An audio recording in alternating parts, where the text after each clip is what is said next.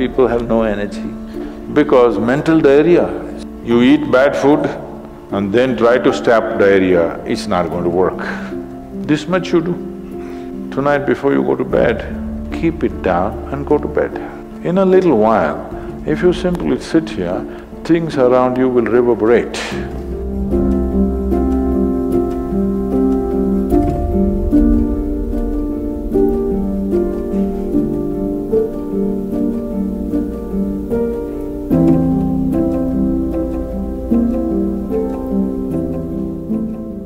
Possible to do it without using specific mudras, whatever?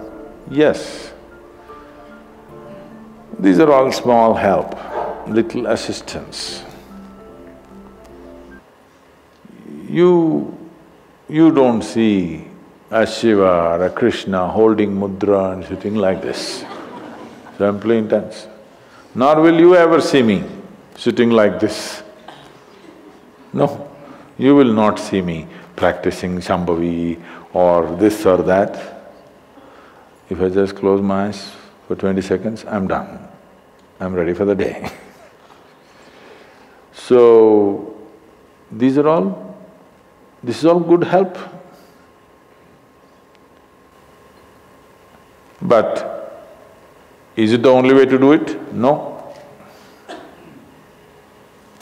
You can simply sit.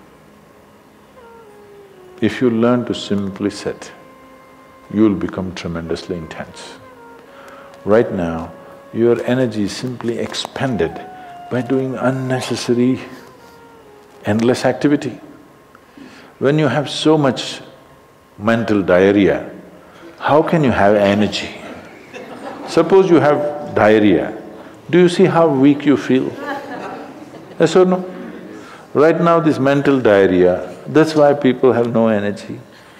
They want to just eat and sleep all the time because mental diarrhea is very exhausting. If you have physical diarrhea, you know how exhausting it is.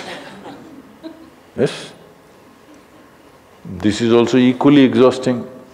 People are sleeping eight hours, ten hours a day, not because they're working so much or their body is in such a bad state, it's just mental diarrhea.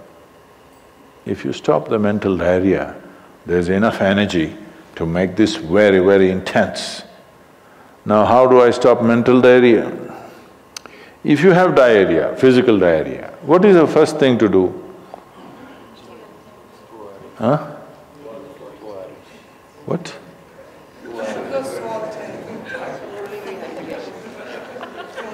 Yes, run to the toilet, I know that.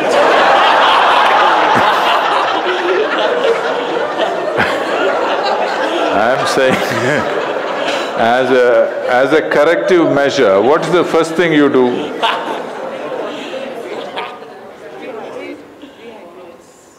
No, as a corrective measure, what is the first thing you do?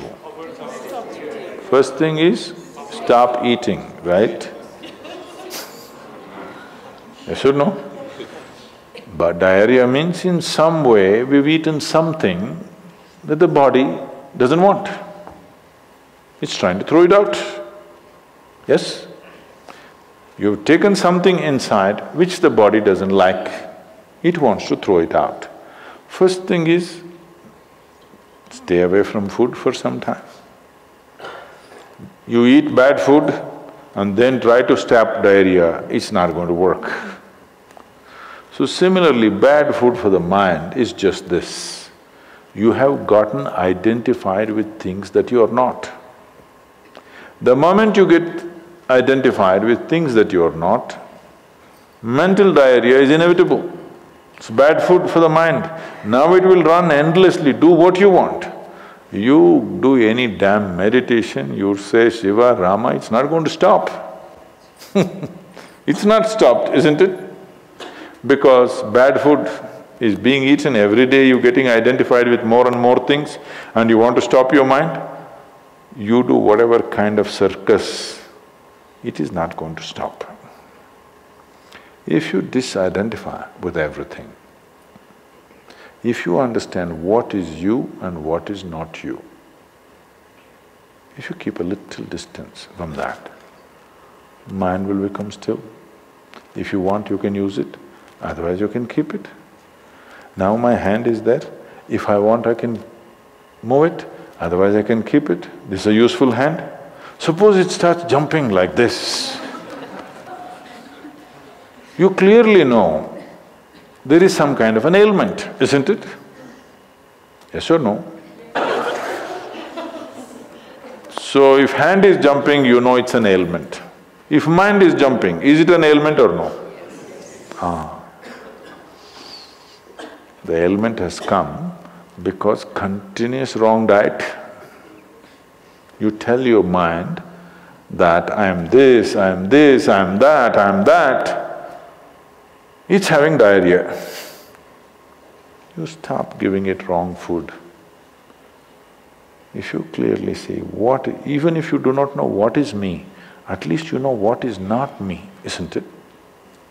This much you do. Tonight before you go to bed, sit on your bed and sit down and discount everything that is not you. This house in your… in which you're living, is this me? No. This loving parent or mother, father, wife or husband or child, they're wonderful, but is this me? No. Now these nice clothes I'm wearing, is this me? No. Now my body, I like it, but is this me? No. Now I'm having so many thoughts, is this me? No. Now I'm having wonderful emotions, is this me? No. Like this, everything that's not you, before you sleep, keep it down and go to bed. Tomorrow morning, you will wake up considerably more intense than today. Every day you do it, in a little while, if you simply sit here, things around you will reverberate. Really. I was in… a few years ago, couple of years ago, I was in America and uh, this is a very typically American question. This lady comes up to me and she she's very angry. I've been doing this yoga for last thirty-five years, nothing happened.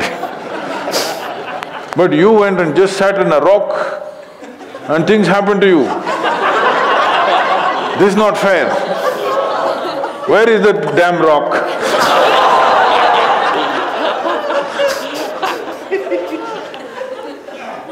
she thinks it's the rock which did it